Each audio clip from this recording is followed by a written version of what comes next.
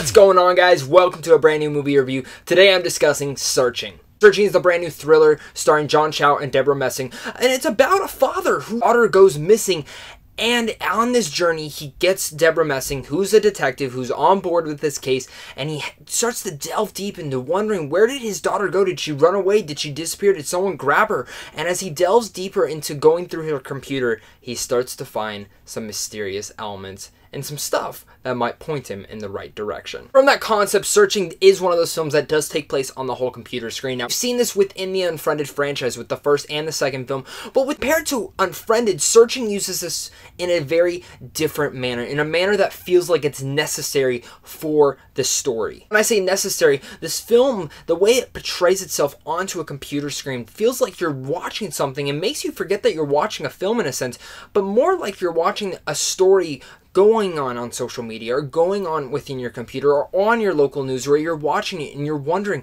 how's the story going to end? Can i put any clues together and whatnot? Because there are clues throughout the whole entire film that the director ignish wanted a debut director who's done some short films and whatnot but this is his first feature film does such a fantastic job layering out all these little small clues that once the film ends you go back and you start thinking you're like oh my god like everything was right in front of me the whole entire time. It's all pieced throughout it because it's on the screen and it keeps you riveted from beginning to end the whole entire time you're on the edge of your seat wondering what's going to go trying to guess along John Cho's character trying to be with him and understand where is he going through and you understand and feel his emotions within here and as you're going through this you're totally sitting there like, okay, is this going to be happening? Is this what's going to happen? Is this what's going to happen?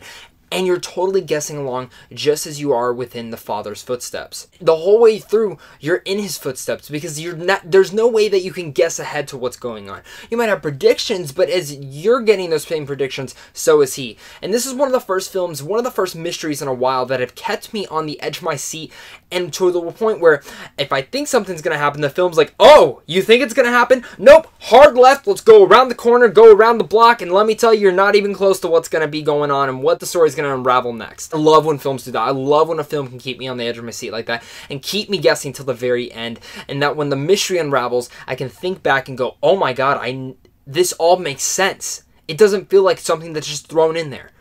And with such a fantastic conclusion at the end, Searching seriously becomes one of the best mystery stories told in a very long time. And a lot of that goes to the first time director Ignish, but also the performances in here. John Cho gives one of the best performances of the year, probably the best performance of his career, hands down. He was also in Columbus, a very underrated film. He was fantastic in there, but man, the guy comes to emotional powerhouse stuff within this movie where it almost makes you tear up of how good he is. Like, this is seriously one of the best performances of the year. Everyone else in here is really good as well. I, I think Debra Messing is also another actress who does a fantastic job in this film. Again, bringing those layers, bringing those emotions to her character and making her feel like a real person. Everyone felt like in here like a real person. And again, the sense that this film brings you is that you totally forget that you're watching a movie, but in the end, it feels like something that really just happened and that you just embarked on this quest with this father, embarking it, watching it from news, watching it from social media, and that is superb. And tell I love Searching. I think Searching is easily one of the best films of this year. For cons wise, I do think it's a little bit slow in the pacing within the beginning of the film, but as the film starts to progress, it feels like a boulder that's just going downhill, and as it just keeps going downhill, it keeps going faster and faster and faster until it just hits right at the end. Great performances, and seriously, John Cho giving one of the best performances of his career. A great directorial debut from Ignish, and seriously, one of the top-notch editing for any type of film to make the computer screen not feel like a gimmick but something that was essential for the story. Searching is one of the best films of this year, a film that you guys should not miss. Look out for a theater. I cannot praise this film enough. Go and see Searching. All that said, I'm going to give Searching an A. And this is easy, one of my favorite films of this year. My friend Griffin from Men vs. Movie calls this the Gone Girl of this year, and I agree with him. Really, guys, go search out Searching. Hey guys, what do you guys think about Searching? Have you guys seen the trailers for this? Are you intrigued to see it? Comment down below and tell me guys what your guys' thoughts are on the film. And of course, if you guys are new here, hit up Sandwich John Films also down below, because right down there you guys can get into advanced movie scenes like Searching, check out movie news, and also some movie reviews by me, and maybe some other special people out there in the world. Until next time, stay classy.